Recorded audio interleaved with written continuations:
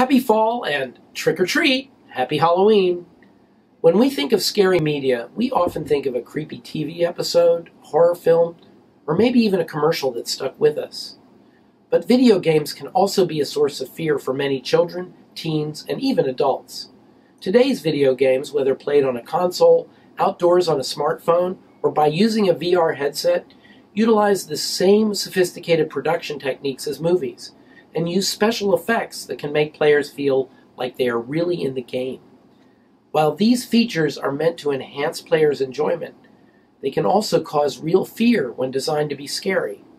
Research shows that playing realistic, interactive, first person horror games can cause children to experience increased anxiety, nightmares, and trouble sleeping.